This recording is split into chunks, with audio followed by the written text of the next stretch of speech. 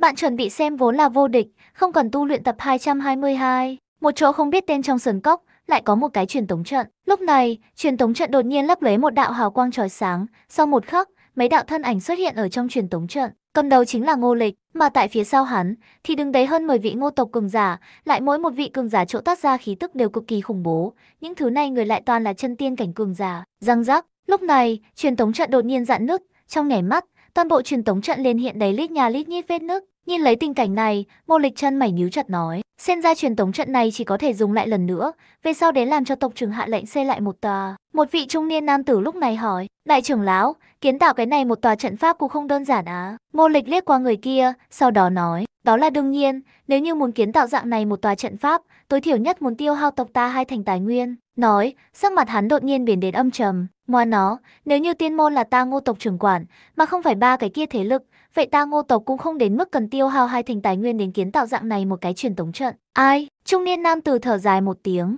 không có cách, ai để người ta có vị tiên quân lão tổ đâu. mô lịch hai mắt có chút nheo lại, tiên quân lão tổ, nói, khóe miệng của hắn nhấc lên. Tiên quân lão tổ mà thôi, chúng ta tộc trưởng lập tức cũng muốn đột phá tiên quân. Cái gì? Nghe vậy, mọi người một mặt chấn kinh. Một vị nam tử hưng phấn nói, tộc trưởng muốn đột phá tiên quân rồi. Những người khác giờ phút này cũng là hưng phấn lên. Ngô lịch gật một cái, mê mơn, cái này là tộc trưởng nói cho ta biết. Ha ha ha, vậy thì tốt quá, như là tộc trưởng đột phá tiên quân, chúng ta cũng không cần thiết sợ ba cái kia thế lực. Đúng vậy à, đến lúc đó chúng ta ngô tộc cũng có thể cùng bọn hắn quyền thế ngang nhau. Mỗi lần gặp phải cái kia ba cái thế lực người, bọn hắn đều sẽ xem thường ta, cũng bởi vì ta ngô tộc không có tiên quân cường giả, trở về sau tộc trưởng đột phá tiên quân, ta xem bọn hắn còn dám hay không xem thường ta. Giờ phút này, ngô tộc các cường giả dị thường kích động, ngô lịch trên mặt lộ ra một vệt nụ cười, lập tức biến đến nghiêm túc, hắn nhìn chằm chằm trong sân hơn 10 người. Các ngươi là ta người tin cẩn, cho nên ta mới nói cho các ngươi biết tin tức này. Nếu như về sau nhưng ta biết người khác cũng biết sự kiện này, vậy cũng đừng trách ta. Nói đến đây, hắn không hề tiếp tục nói, mà chính là hai mắt có chút nheo lại, trong mắt lộ ra một cỗ hàn quang, ý tứ không cần nói cũng biết. Tất cả mọi người toàn thân run lên, một cổ hàn ý tuôn hướng trong lòng, không dám do dự, bọn hắn trực tiếp một gối quỳ xuống. Trong đó một vị trung niên nam tử, thân tình nghiêm túc nói, đại trưởng lão xin yên tâm, tộc trưởng muốn đột phá tiên quân sự kiện này, chúng ta là tuyệt đối sẽ không để lộ ra đi. Nếu là chúng ta bên trong có bất kỳ người nào đem sự kiện này nói ra, không cần đại trưởng lão xuất thủ, chúng ta liền sẽ tiêu diệt hắn, đồng thời sẽ để cho hắn sống không bằng chết. Những người khác cùng kêu lên nói, thỉnh đại trưởng lão yên tâm, nhìn lấy một gối quỳ xuống mọi người, ngô lịch khóe miệng có chút nhắc lên. Hắn cho lấy không khiến cái này ngô tộc cường giả đem ngô nguyên chu muốn đột phá sự tình nói ra, là bởi vì hắn sợ ba cái kia thế lực biết. Nếu là ba cái kia thế lực biết ngô nguyên chu muốn đột phá tiên quân, vậy bọn hắn tuyệt đối sẽ liên thủ đem chọn cái ngô tộc diệt tộc. Bởi vì nếu là Ngô Nguyên Chu đột phá tiên quân lời nói, cái kia ba người bọn hắn thế lực tài nguyên cùng địa vị nhất định sẽ chịu ảnh hưởng. Đây là bọn hắn không cho phép. Bọn hắn không cho phép có có thể uy hiếp được bọn hắn địa vị cùng tài nguyên người xuất hiện,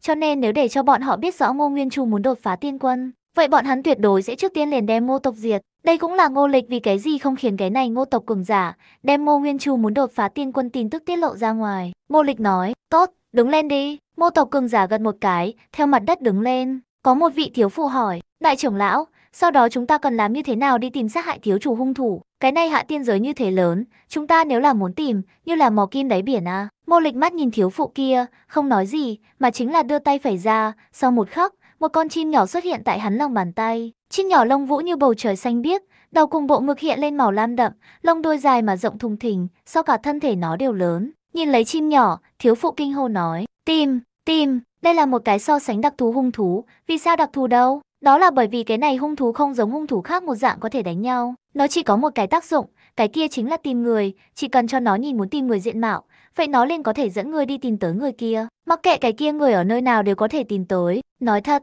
cái này thật vô cùng nghịch thiên, phải biết, chỉ bằng diện mạo, liền có thể tìm tới muốn tìm người, cho dù là những cái kia đỉnh tiên đại năng, cũng làm không được. Mặc dù tìm loại năng lực này rất nghịch thiên, nhưng cũng chỉ có thể sử dụng một lần năng lực như vậy, bởi vì là một con tìm, tìm tới muốn tìm người về sau, liền sẽ lập tức tử vong. Đây cũng là tìm sử dụng một lần nghịch thiên năng lực đại giới, tử vong đại giới, mặc kệ là cái gì, cái kia cũng phải nói một hợp lý. Nếu là tìm có thể vô hạn sử dụng loại năng lực này, vậy liền không hợp lý. Thiên đạo sẽ không cho phép loại này không hợp lý đồ vật tồn tại, cho nên thiên đạo liền cho tìm lập xuống một cái quy tắc, đó chính là sử dụng một lần loại năng lực này, liền phải bỏ ra tử vong đại giới. Nhưng dù cho chỉ có thể sử dụng một lần, cái này vẫn như cũ nhường thượng tiên giới tu sĩ điên cuồng. Vô số tu sĩ cũng là nhìn chúng tìm loại năng lực này, cho nên liền cướp trắng trợn.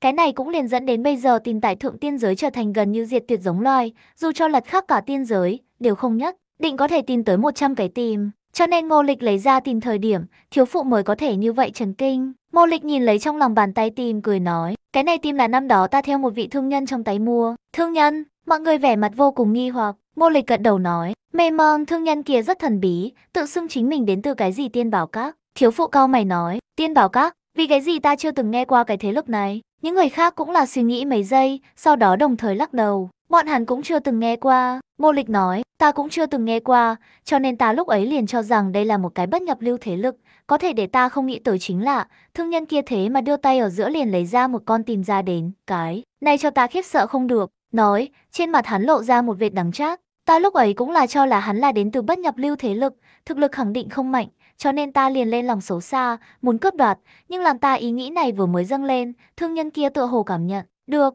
vậy mà trực tiếp đem ta trần áp, ta lúc ấy liền năng lực phản kháng đều không có. Nghe xong, giữa sân tất cả mọi người gương mặt thật không thể tin. Trung niên nam tử ngưng trọng nói, thương nhân kia mạnh như vậy, Ngô Lịch gật đầu nói, mê mơn chính là như vậy mạnh, bất quá may ra, thương nhân kia chỉ giao dịch, không giết người, không phải vậy ta đã sớm chết cầu. Bạn chuẩn bị xem vốn là vô địch, không cần tu luyện tập 223. Mọi người lông mày nhíu lên, trong đầu lần nữa bắt đầu nhớ lại, nhưng vô luận bọn hắn làm sao nhớ lại, lại vẫn không có liên quan tới tiên bảo các tin tức. Ngô Lịch lắc đầu nói, tốt, đừng suy nghĩ, nên làm chuyện chính. Nghe vậy, mọi người lấy lại tinh thần, sau đó gật một cái. Ngô Lịch lúc này đem ánh mắt nhìn về phía tìm, ngay sau đó một chỉ điểm tại tìm giữa lông mày, trong nháy mắt, tìm trong đầu liền hiện ra Diệp Linh khê diện mạo. Tìm nhảy nháy mắt, lập tức hóa thành một đạo lưu quang, hướng về một chỗ bay đi. Ngô Lịch khóe miệng nhấc lên, đuổi theo, nói, người hắn đã hướng về tìm rời đi phương hướng đuổi theo. Mọi người cũng không do dự, vội vàng đi theo. Sau hai canh giờ, tìm mang theo Ngô Lịch đám người đi tới trong sa mạc, rất nhanh,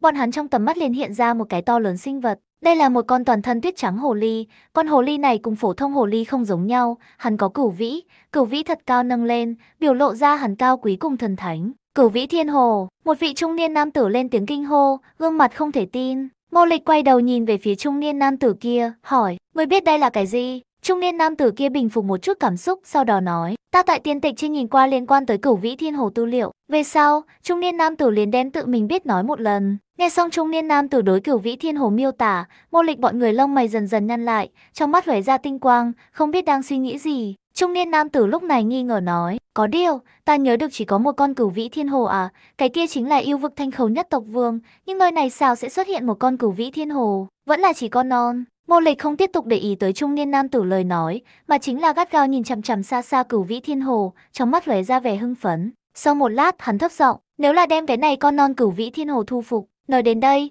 hắn liền không có tiếp tục nói hết, chỉ bất quá, cả người hắn chẳng biết tại sao càng thêm hưng phấn. Trung niên nam tử nghe được Ngô Lịch lời nói, cả kinh nói, đại trưởng lão, ngươi muốn thu phục cái này cửu vĩ thiên hồ. Ngô Lịch mắt nhìn trung niên nam tử, không được sao? Trung niên nam tử trầm giọng nói, thanh khâu hồ tộc nếu là biết người đã thu phục được một con cửu vĩ thiên hồ, chỉ sợ. Ngô Lịch nói, sợ cái gì? Cái kia thanh khâu hồ tộc tại yêu vực, chúng ta tại nhân vực, bọn hắn chẳng lẽ lại còn dám tới ta nhân vực? Trung niên nam tử nói, mặc dù nói như vậy, nhưng ta vẫn còn có chút lo lắng. Ngô Lịch lắc đầu nói, lo lắng cái cọc lông, người có biết hay không, nếu là chúng ta đem cái này cửu vĩ thiên hồ bồi dưỡng lên, vậy ta ngô tộc đem trực tiếp bay lên tốt ta. Trung niên nam tử còn muốn nói điều gì, nhưng lại bị cái khác ngô tộc cường giả ngăn trở. Thiếu phụ nói, ngươi không cần nhiều lời, ta chống đỡ đại trưởng lão, chúng ta cũng chống đỡ. Cái khác ngô tộc cường giả cũng biểu thị chống đỡ ngô lịch, bởi vì ngô lịch vừa mới nói lời, thật làm bọn hắn tâm động. Nếu thật đem cái kia cửu vĩ thiên hồ bồi dưỡng lên, vậy bọn hắn liền có thể tại nhân vực sông pha, không có thế lực nào dám trêu chọc bọn hắn. Trung niên nam tử thấy thế,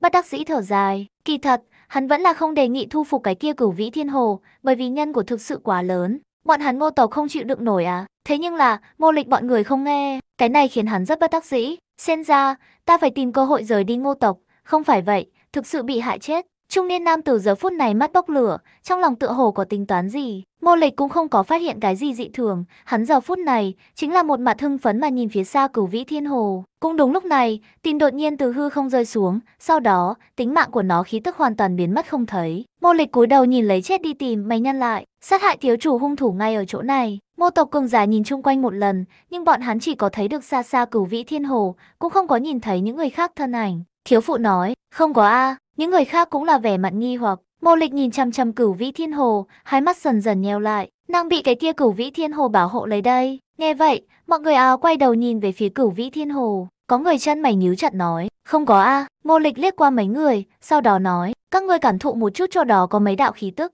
Nghe xong Ngô Lịch lời nói, mọi người tỉ mỉ cảm thụ, Cố nhiên, bọn hắn theo cửu vĩ thiên hồ chỗ đó cảm nhận được hai cỗ khí tức. Một cỗ là cửu vĩ thiên hồ, một cỗ là của người khác. Mà người này, hẳn là bọn hắn muốn tìm hung thủ. Trước đó vị trung niên nam tử kia ngưng trọng nói, người này lại có thể thu phục một con cửu vĩ thiên hồ, xem ra, chúng ta khả năng còn đánh giá thấp nàng. Nói, hắn do dự một chút, sau đó nói, đại trưởng lão, nếu không vẫn là quên đi thôi. Ngô Lịch nhìn về phía trung niên nam tử, trong mắt biến đến băng lạnh lên. Ngươi còn dám nói nhảm một câu, ta liền giết ngươi. Ánh mắt của những người khác cũng lạnh như băng nhìn lấy trung niên nam tử, dường như chỉ cần Ngô Lịch hạ lệnh, bọn hắn liền sẽ không chút do dự đem trung niên nam tử giết chết. Trung niên nam tử hổ khu run lên, một cầu hàn ý tuôn hướng trong lòng, hắn khẽ lắc đầu, không dám lại nói tiếp, chỉ là trong lòng thầm mắng Ngô Lịch bọn người ngu xuẩn. Hừ, Ngô Lịch hừ lạnh một tiếng, sau đó hạ lệnh, trước bắt sống cái này cửu vĩ thiên hồ. Nói xong, người hắn đã liền xông ra ngoài. Những người khác thấy thế, cũng liền bận bịu lấy ra vũ khí, hướng về cửu vĩ thiên hồ đánh tới. Tại chỗ, trung niên nam tử hai con mắt lấp lấy tinh quang, ngay sau đó chậm rãi lui về sau đi, tại nhìn thấy ngô lịch đám người đã cách xa nơi này, hắn xoay người chạy, một bên chạy, hắn vừa mắng, ngu xuẩn một đám, nghĩ như vậy muốn chết, vậy các ngươi liền đi chết đi, lão tử cũng không cùng các ngươi cùng một chỗ chịu chết. Mà giờ khắc này ngô lịch bọn người, trong mắt chỉ có cửu vĩ thiên hồ, căn bản cũng không có chủ ý trung niên nam tử kia đã chạy. Cùng lúc đó, Hồ Tiểu Thiên đột nhiên cảm nhận được một cỗ cảm giác nguy cơ, hắn bỗng nhiên mở hai mắt ra, ánh mắt vừa vặn trông thấy hướng về chính mình đánh tới ngô lịch bọn người. Hắn sắc mặt đại biến, nhưng hắn không dám suy nghĩ nhiều, liền vội vàng đứng lên, sau đó một chảo đánh ra, một chảo này, trực tiếp đem cái này mảnh thời không xé rách, cực kỳ khủng bố. Oanh! Theo một tiếng vang thật lớn, Hồ Tiểu Thiên cái kia thân thể cao lớn trực tiếp bay ra ngoài, trên đường, hắn bỗng nhiên phun ra một ngụm máu tươi, khí tức cũng biến thành suy yếu. Hắn chỉ bất quá ngụy tiên, chỗ nào có thể ngăn trở Ngô Lịch đám người công kích? Phải biết, Ngô Lịch thế nhưng là huyền tiên cảnh cửu trọng đỉnh phong, khoảng cách kim tiên vẻn vẹn kém một bước, mà những người khác cũng tất cả đều là chân tiên cảnh.